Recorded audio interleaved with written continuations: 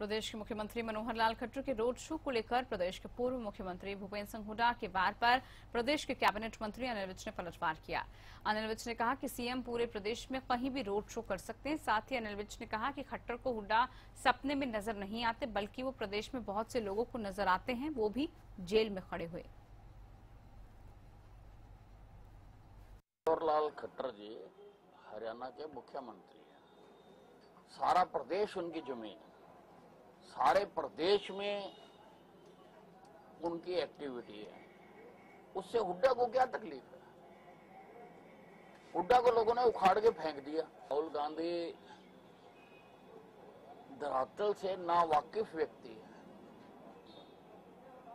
सारे हिंदुस्तान में कांग्रेस हार चुकी है।